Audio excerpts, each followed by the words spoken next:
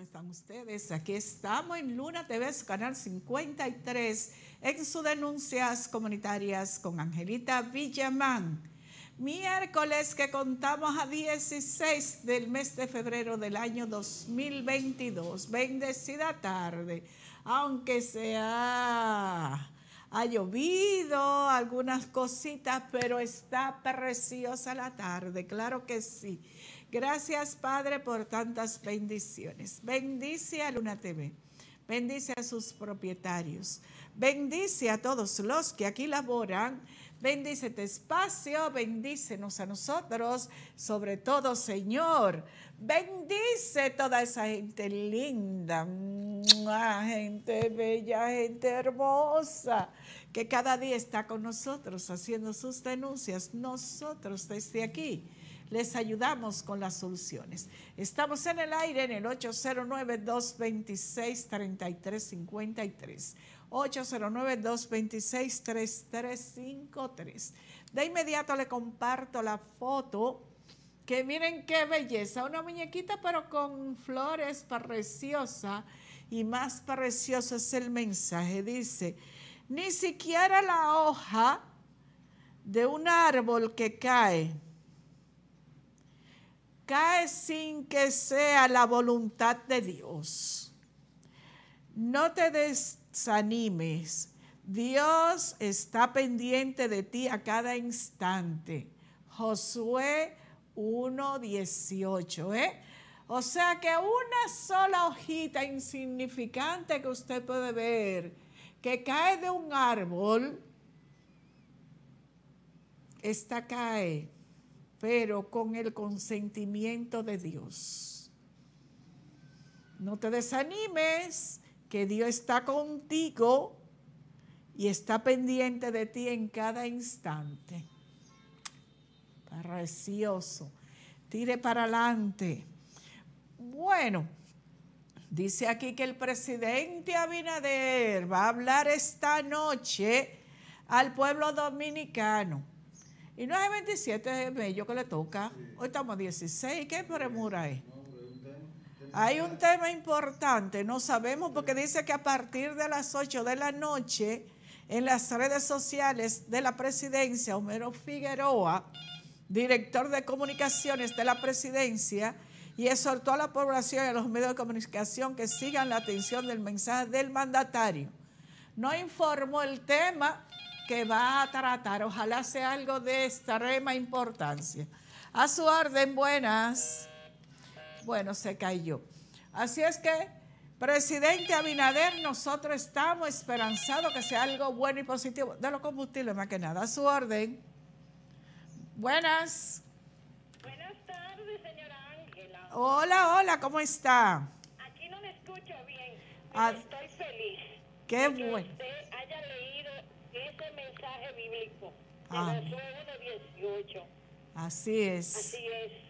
Dios nos ama tanto a nosotros que una hojita insignificante dice que ni una hoja de un árbol se cae sin el permiso de Dios. Amén. Qué importante es para nosotros. Así es. Cómo Dios nos cuida. Que Así Dios me bendiga, mm. señora Ángela, a usted, a su programa, Amén. a todo lo suyo. Gracias, corazón, bendiciones. Ay, qué bello ese mensaje.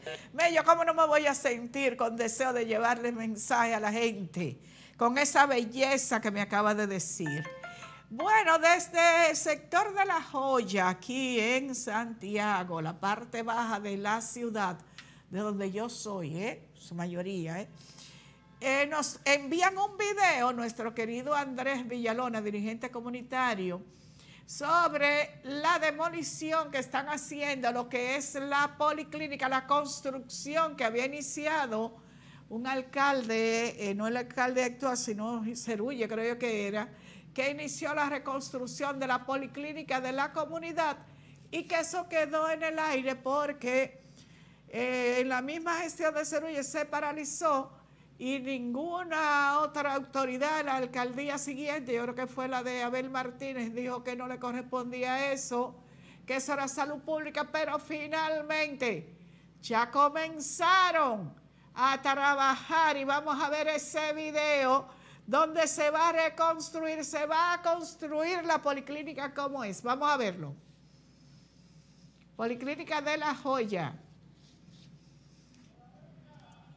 Si estamos listos, entonces ahí se dio, señores, que teníamos problemas porque no se le daba, se andaban buscando ni salud pública, las autoridades anteriores, ni salud pública, ni el ayuntamiento, ni nadie quería asumir, mientras la comunidad de La Joya estaba sin ningún servicio de su policlínica tan importante que no solamente abarca La Joya, sino Baracoa, La Joya, la otra banda, el hospedaje y todos esos sectores de la Cambronal todo el mundo ahí era que iba porque esa era la policlínica que tenía más cerca. Así es que esperemos pues cuando estemos listos ver ese video de esa policlínica que se va a reconstruir, se va a hacer nueva.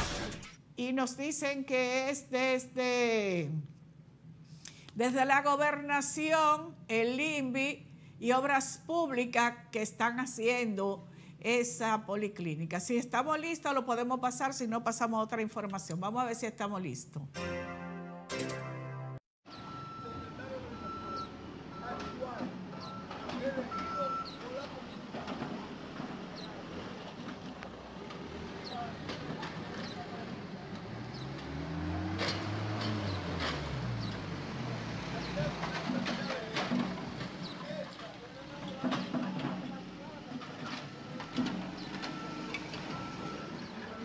Usted me dice de esta obra que se está haciendo ya, al fin, gracias a Dios? Gracias a Dios que ya la van, ya la van a hacer la policlínica para, que, para cruzar, cuando uno esté malo, cruzar para allá.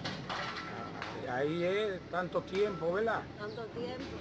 Pero ya, gracias a Dios. Gracias a Dios que ya lo van a hacer. Ah, Ahora a.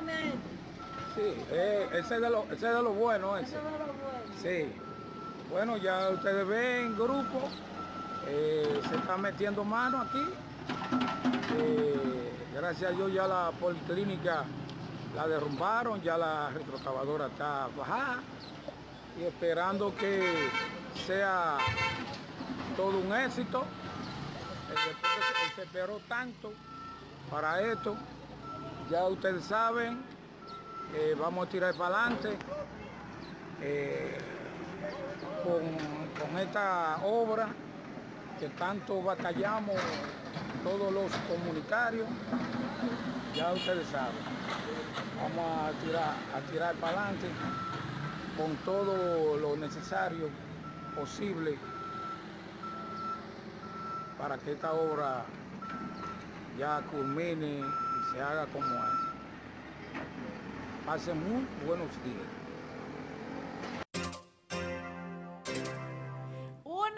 Lucha tenaz que han tenido los comunitarios del sector de la joya y de la Plaza Valerio. Ay, Dios mío, cuánto luchar por esa policlínica. La voz y el audio nos los hace llegar Andrés Villalona, quien encabeza la plancha número dos para la Junta de Vecinos de los Comunitarios de la Plaza Valerio. Ahí está la foto, Carlito, de la plancha que, número dos que encabeza Andrés Villalona. ¿Cuántos comunitarios? Andrés, pero tú eres un duro. ¿Y, y esa, plancha con tanta gente? Mírenla ahí. Ahí vemos a Andrés Villalona encabezando como presidente, ingeniero Lesván Espinal, vicepresidente, Lisbeth Grullón, secretaria general y así sucesivamente. Se le ve que hay muchas caras de muchas personas de valía, personas de la comunidad que van a hacer un gran trabajo y sin duda van a ganar próximamente las elecciones para presidir esa Junta de Vecinos de La Joya. Un luchador incansable que es Andrés Villalona, mi amigo. Un comunitario que no tiene hora ni fecha para hacer ningún tipo de trabajo. Y con esa clínica fue que ese hombre dio bandazo. Bueno, las comunidades están activas. Tengo un audio aquí de una junta de vecinos de Los Ángeles 1 de, de Atomayor, Los Ángeles primero de Atomayor. Ellos están tirándole piedra, como quien dice, bombazo a corazón, porque a raíz de que fueron e hicieron una zanja y entraron unos tubos para solucionarle a otro problema, a otro sector que no fue ni siquiera ellos. Hace más de un año, Mello, que tienen la zanja ahí tapada con tierra como hay en todas partes y ellos están haciendo un llamado Vamos a escuchar el audio. Saludos, saludos. Y el video, Carlita, tú lo puedes poner audio. Angelita Francisca Cruz, presidenta de la Junta de Vecinos Unidos para Triunfar de Los Ángeles Primero. Ese video te lo mando en evidencia del mal trabajo que Corazán hace en las comunidades. Donde quiera hacen hoyo y el bacheo nunca aparece. Hace más de un año que un ingeniero desaprensivo vino a la comunidad rompió la avenida Verde, que empalma con la calle principal de Monteverde y la calle de las Palomas, con Sabaneta. Rompió la calle hace más de un año eh, que vino eh, para beneficiar eh, un servicio de Monteverde, no tampoco para la comunidad de Los Ángeles, sin hablar con nadie. Y dejó eso destruido, mira cómo está la calle, cuando llueve eso es intransitable, eh, los niños hay que buscarle cartones para que puedan cruzar para la escuela, eh, en la avenida Verde con esquina eh, Sabaneta, la avenida Las Palomas, hay un muerto ya porque subía un joven en una camioneta y cayó en ese hoyo y perdió el control y mató un señor en un motor. Eh, ya tú sabes que es un desastre. Le hacemos un llamado a las autoridades de Corazán que por favor que vengan a reparto Los Ángeles primero a Tomayor para que ellos vean qué es el desastre que tenemos en la comunidad, los choferes dañados en los vehículos, provisto a que pasen accidentes porque tienen que, entrar ahí a esas, esos hoyos de los niños que vienen de la escuela, tienen que, tirarse a esos hoyos que ya el agua lo ha hecho, el desnivel de la calle, todo el desnivel de la calle, todo es un desastre. A ver de qué manera Corazón viene a resolver, porque hicimos este llamado pacíficamente, estamos dispuestos, si tenemos que hacer lo que sea para que vengan a resolvernos, lo vamos a hacer como autoridad. Bueno, ustedes están viendo ahí las imágenes porque esa comunidad está desesperada. Eso ahí está, como ustedes no se lo imaginan. Como ustedes no se lo imaginan, ya hay un muerto, según dice Francisca, la presidenta de la Junta de Vecinos del sector de, la, ¿cómo que le dicen ahí? Reparto Los Ángeles primero, de Atomayor, por la zanja, fue de una camioneta fue a esa bandiana zanja, agarró un motorista a su orden. Sí, buena.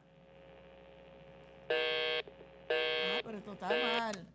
De todas maneras, señores, eh, ahí está el llamado. Ellos dicen que están cansados ya, que el ingeniero desaprensivo, para favorecer, oigan, al sector Monteverde, para ellos poder empalmar esa tubería rompieron del lado de Los Ángeles primero.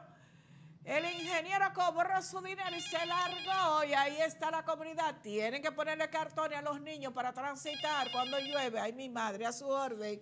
Buenas. Hola, doña, doña Angelita, ¿cómo está usted? Hola, doña Milady, ¿cómo sigue hoy? Hola, ¿cómo está usted? Bien, ¿cómo sigue? ¿Cómo está? Ah, yo, fui a la policlínica y la policlínica me refirieron al Hospital María Cabral Ibar. ¡Ay, Dios! al Hospital María Cabral Ibar, pero eso, eso, eso es para gente que no tengan familia. No me, no me atendieron. No me diga. me están curando aquí en la casa, me están curando. Ellos hay médicos familiares. Yo creo que yo tengo su número, ¿verdad? ¿Eh? Yo tengo su número. Sí. O démelo de nuevo para yo llamar a un médico de Cabral y Valle a ver si me ayuda. Está bien, está bien. Deme el número. Ahí ese fue. Bueno, usted me llama y me lo da a ver si algún médico puede ayudarla, porque eso no es. Si usted llega referido a un hospital de una policlínica con un pie diabético como tiene ella, hay que ponerle atención, que no le hicieron caso. Qué lindo. Oye, Mello. Ay, ¿qué es eso? Y después dicen que uno le gusta hablar, pero son ellos que están hablando directamente. Si tú no vas con una cuña de un poderoso, nadie te hace caso. Bueno, vamos aquí, dice que Corazán avanza con los trabajos de alcantarillado sanitario del barrio de Francisco de Rosario Sánchez. Dice que avanza con esos trabajos de recolección de la línea, de la construcción de la línea de recolección de aguas residuales del Francisco de Rosario Sánchez en su fase final. Las brigadas de bacheos están concluyendo los trabajos de asfaltado de las calles Quisqueya del referido sector, dando respuesta inmediata a los comunitarios, que es lo que queremos que ustedes le respondan a Los Ángeles 1 de Ato Mayor por ese trabajo y el tránsito vehicular. La obra ejecutada con una inversión de 16 millones 7 mil 87 pesos eh, se recogerá y conducirá las aguas residuales hacia las plantas de tratamiento. Los residentes valoraron la obra, se sienten muy contentas y dieron como positiva, al tiempo que agradecieron la rápida respuesta de la nueva gestión de la institución que le han brindado con la, a través de las diferentes denuncias. Dicen que Corazán tiene más de 50 obras en ejecución y solución pluvial y acantarillado para mejorar la población de Santiago. Eso es lo que esperamos, Andrés Burgos. Hay un videíto ahí del Francisco Rosario Sánchez eh, de, de la pavimentación al asfaltado después de terminar esa tubería de recolección de aguas residuales. Vamos a verlo, ese videito. Yo la veo excelente la obra porque tenía mucho tiempo el gobierno que por aquí no hacían nada y ya este cambio que vino ahora se está viendo ya. Aquí tenía años que no llegaba el agua y ahora está llegando. Y están afeitando de una vez, metían la, la cloaca que no había por aquí. Y ya tenemos cloaca. Que tenía aproximadamente cinco años que estaban reclamándole a las autoridades anteriores para su reparación. Y todo se quedó en veremos.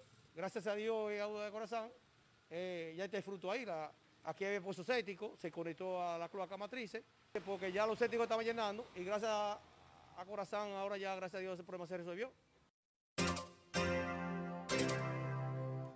Eso es lo que quiere la población, que les resuelvan. En la medida que le van resolviendo los problemas, se van bajando las presiones. Eh, ahorita, antes de, de, venir para acá, he recibido varias llamadas de varias comunidades que me dicen, Angelita, mira, ahí andan diciendo el ministro de Interior y Policía que nosotros, los dirigentes comunitarios, estamos eh, siendo manejados o subvencionados de alguna vía por la oposición del gobierno para ejercer protestas.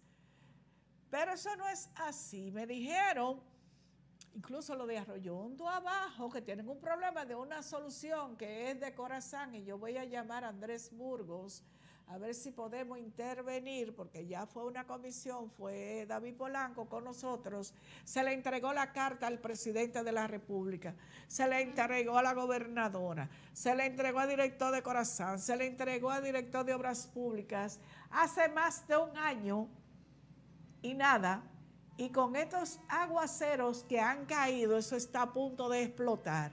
El puente de la avenida Yapur Dumit, que yo le pasé aquí, que tenía un hoyo cayéndose, pero los aproches de abajo, que mañana voy a tratar de traerle los videos de cómo está ese puente con los aproches, simplemente el gobierno anterior, porque nosotros hablamos con el presidente Danilo Medina en esa ocasión, fueron y taparon el hoyo de arriba y dejaron el aproche de abajo comiéndose el puente. La gente de por ahí está preocupada. La gente de San José y la Mina. Me han llamado de otros sectores que también están desesperados y que van a hacer protesta y ellos están diciendo, no quiero que nos encaquillen a nosotros como que estamos siendo o haciéndole juego a la oposición, pero se nos está complicando el asunto. Lo estamos como quien dice, tratando de que las cosas no lleguen donde tienen que llegar, pero háganos caso. Háganos caso porque lamentablemente las comunidades necesitan respuesta. Y miren este de Atomayor ahí, ellos dicen que se van a revoltear y no es porque nadie quiere. Así es que esperemos pues respuesta inmediata a todas esas solicitudes que están por ahí para ver si las cosas bajan. Lo ideal es que las comunidades se le hagan sus obras y no que se comiencen. Ahí vi, ay, qué bueno, sí, ese es buena. Vi que están trabajando en la avenida Francia, un caos para yo venir para acá, Mello. Cuánta vuelta que yo transito por la avenida Francia. Pero ya están trabajando ahí me, me agrada. Gracias Alexis Sosa y el Ministerio de Obras Públicas Local. A su orden, buena. Hola, Tito, mi querido Tito, ¿cómo le fue? ¿Todo bien? ¿Recibió el asunto? Qué bueno, felicidades. Que Dios me lo proteja y que siga su salud para adelante. Amén.